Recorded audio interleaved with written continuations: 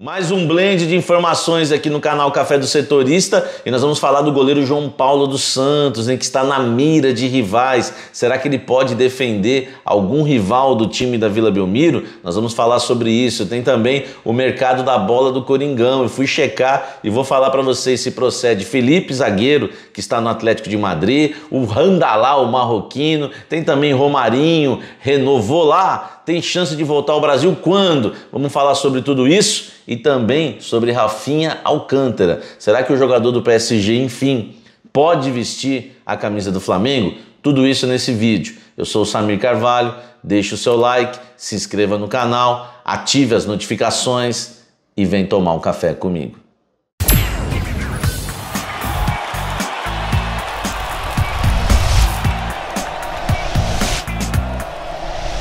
Antes de falarmos do mercado da bola do futebol brasileiro, eu quero dizer que esse vídeo tem o um apoio do Jornal Diário do Litoral. E você pode assistir esse vídeo aqui e tantos outros no diariodolitoral.com.br, um dos sites mais acessados da Baixada Santista e os números comprovam, hein? E peço também para você acessar o canal do YouTube do Diário do Litoral, que tem muitas informações também lá do mundo do futebol, do mercado da bola e principalmente do Santos. Esse vídeo também tem o apoio do Rei do Café, aonde você encontra um dos melhores cafés do Brasil, 100% arábica, gourmet, café especial. Peça o seu pelo delivery reidocafé.com.br Vamos falar do Santos, já que falamos do Diário do Litoral e do Rei do Café, e o João Paulo.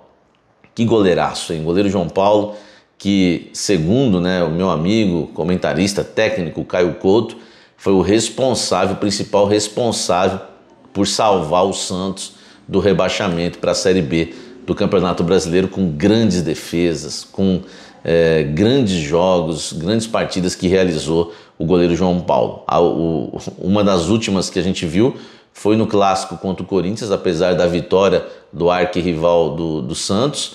Nós sabemos que é, o Timão só não aplicou uma goleada no Santos porque o João Paulo estava numa grande tarde fazendo grandes defesas, principalmente no primeiro tempo. E o João Paulo interessa aos rivais? Interessa. O Flamengo a gente já sabe, tem outros clubes, tem mais um clube que está interessado no João Paulo que ainda não foi revelado.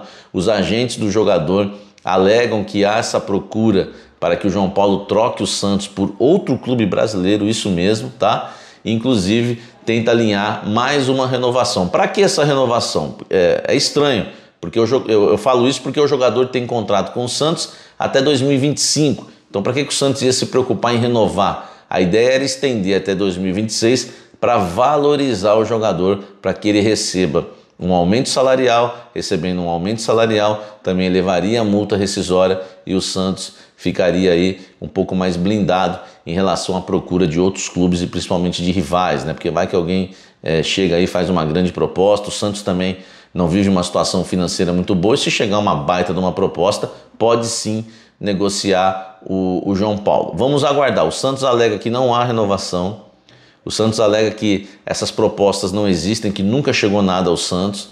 Na verdade, nós não estamos nem falando que chegou proposta, né? Os procuradores do jogador, pessoas ligadas ao, jogador, dizem que há o interesse, tá? O interesse de outros clubes, inclusive brasileiros, no futebol do João Paulo. O Santos alega que não chegou nada e acredita que isso aí é, é, pode ser para que o atleta seja valorizado, enfim. Vamos aguardar para saber o que vai acontecer, porque hoje é sim João Paulo o melhor jogador do Santos. Quando a gente fala de Marinho, Marinho acho que não está muito afim de jogar, né? Mas o João Paulo, esse sim, é o melhor jogador do Santos na temporada 2021. Comenta aqui embaixo e fala o que você acha sobre o assunto. Rafinha Alcântara no Flamengo. Já houve a possibilidade. O Flamengo avançou nas negociações com o jogador, irmão né, do Thiago Alcântara, que esse eu acho muito melhor, e o Rafinha, que teve toda a sua base aí no Barcelona da Espanha, é, não teve uma experiência de fato né, no futebol brasileiro, profissionalmente não, e pode aí virar reforço do Flamengo. O Flamengo vai tentar mais uma vez contratar o jogador nessa janela. A ideia do Flamengo é se, é, é se apoiar na, na má fase que vive o jogador.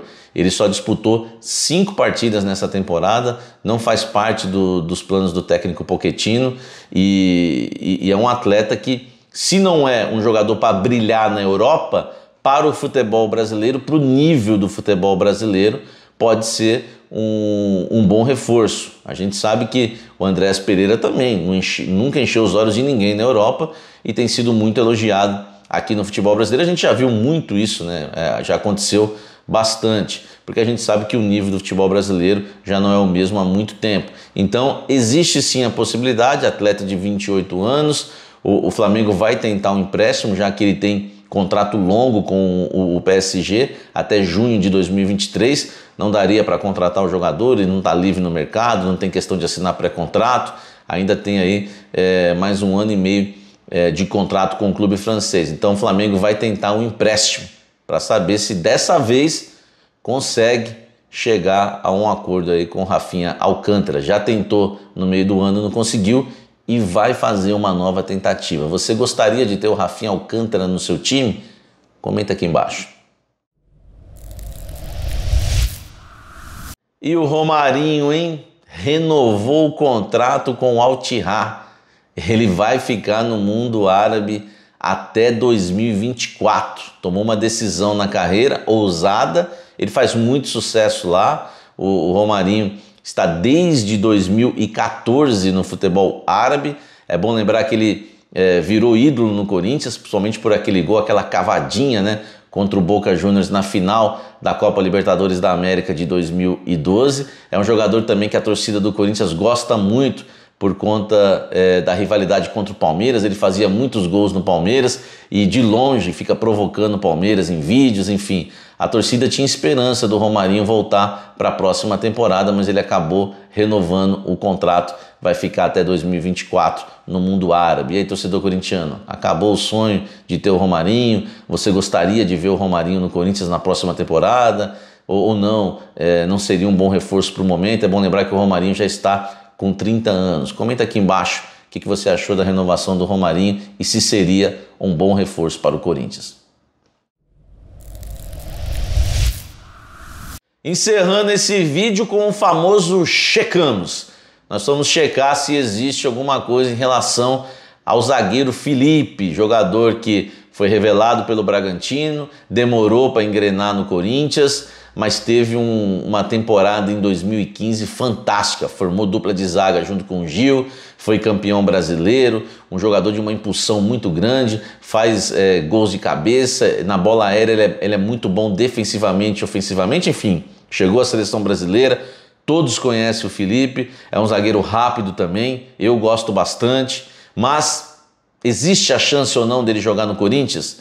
Porque o, o Felipe ele tem contrato com o Atlético de Madrid somente até o meio da próxima temporada. Isso quer dizer que em janeiro ele já pode assinar um pré-contrato com qualquer outro clube do, do futebol brasileiro, ou de qualquer clube é, na Europa, enfim. É, o Felipe é, é, uma opção de mercado para muitos clubes. Ele vinha muito bem no Porto, teve também uma, um início ótimo no Atlético de Madrid esse ano já perdeu espaço com o Simeone, então a situação do Felipe já fica um pouco mais complicada. Mas será que é o ponto de voltar ao futebol brasileiro? A ponto de voltar ao futebol brasileiro? Eu fui apurar com pessoas importantes no Corinthians. A primeira me respondeu o seguinte: não acredito. A segunda, já mais envolvida, me respondeu: não existe nada. Não, não existe nada, nada, nada, nada, nada e nem o interesse. Então, no Corinthians, a incredulidade é muito grande. Primeiro que não há negociação, não há interesse, o Corinthians não está de olho. E segundo que é, quem não está envolvido diretamente nas contratações do Corinthians também não acredita. Enfim, hoje o que tem do Felipe é só essa questão dele ter jogado no Corinthians, está em fim de contrato no Atlético de Madrid, mas é um jogador que ainda tem muito mercado na Europa. Então ele, caso ele não renove com o Atlético de Madrid, ele pode jogar em algum outro clube do futebol europeu. Hoje a chance dele voltar, até pessoas próximas ao Felipe alegam isso, que a chance dele voltar para o futebol brasileiro é muito pequena, tá certo? Vamos aguardar, o mercado da bola vai pegar fogo aí em janeiro, abertura das janelas, e a gente vai falar muito sobre o mercado da bola, é o nosso forte aqui no canal, a gente vai acompanhar tudo isso. Mas por enquanto, hoje, esclarecendo vocês, não tem nada, mesma coisa com o marroquino Randalá, não tem nada também, é, não existe nada, nada, nada, nada. O que existe é que o Corinthians está é, tá informado sobre o jogador. Hein? Eu fui conversar com uma, uma fonte no Corinthians que me falou o seguinte, Samir, O camarada ganha 7 milhões de euros por ano. Não tem como. Ele rescindiu o contrato, sim, né, tá livre no mercado, causou alguma coisa lá, a gente não sabe é, certamente o que ocorreu, mas ganhava aí é, um atleta de, de, de 7 milhões de euros por temporada, você vai dar mais de 3 milhões de reais por mês. Você imagina então pagar um, milhão e meio, um milhão para um jogador, para um marroquino que ninguém, na verdade, nunca viu. Os números dele são excelentes, claro. Fez mais, tem mais gols na carreira do que jogos, enfim. Mas não dá, não dá para apostar. Não tem como pagar um milhão. Atleta de mais de, de 30 anos já, acho que é 30, né? Não dá para pagar isso por um, um jogador é, que, que mal a gente conhece e seria um, um, alto risco. Tudo bem, tem que olhar, tem o Cifute, tem que observar, a torcida mesmo observa, a gente também, a gente vê os melhores momentos, mas será que vingaria aqui no futebol brasileiro um marroquino? E para pagar um milhão jamais? Não tem como, não tem como, isso não existe. Um milhão se ele fizer um bom desconto, né? Então não existe nada Randalá, não existe nada Felipe, Romarinho renovou. Vamos aguardando aí o mercado da bola. O que tem de verdade é o Paulinho que eu cravei aqui. Hein? Aqui não tem brincadeira não, já chego cravando, tá? Aliás, fui o primeiro no Brasil a trazer essa informação que o Corinthians negociava com o Paulinho no dia que ele rescindiu, tá? A matéria tá aqui no canal, tá? É, se você quiser dar uma olhada, no dia que ele rescindiu, eu trouxe que as negociações já estavam adiantadas, já estava trazendo até salário para você, que ele havia se arrependido, que naquele dia eu cravei que ele que ele treinaria no Corinthians em 2021, aconteceu e agora estou cravando que ele vai ser jogador do Corinthians na temporada 2022, quando vai assinar e vai ser anunciado o vídeo, está aqui no canal. Assiste aí você que não assistiu, tá certo? Vou ficando por aqui com esse vídeo. Não se esqueça de deixar o seu like. Antes disso, calma, calma. Não se esqueça de deixar o seu like, se inscrever no canal e ativar as notificações, tá certo? Passamos de 53k, 53 mil inscritos. Conto com a sua inscrição, com o seu apoio. Conto também é, com você para o clube de membros do canal Café do Setorista. Hein? Seja membro do canal, o link está aqui na descrição. São quatro planos, tá? Os planos são cafezinho, café, cafezão e café especial. Quatro planos aí, os dois últimos na direita você participar do Café na Mesa, o nosso mesa redonda aqui do canal, tá certo? De segunda a sexta-feira convido você, torcedor corintiano, a participar do Café da Fiel comigo às 18 horas. O nosso News, o programa que mais cresce no YouTube que fala de Corinthians. De segunda a sexta-feira, Café da Fiel. Aguardo você no Café da Fiel para a gente falar muito do Corinthians, bastidores, furos de reportagem, sempre no Café da Fiel, a nossa interação, enfim, é um, é um programa que realmente já se tornou o ponto de encontro dos corintianos de fim de tarde, início de noite. Um forte abraço, até o próximo café, valeu!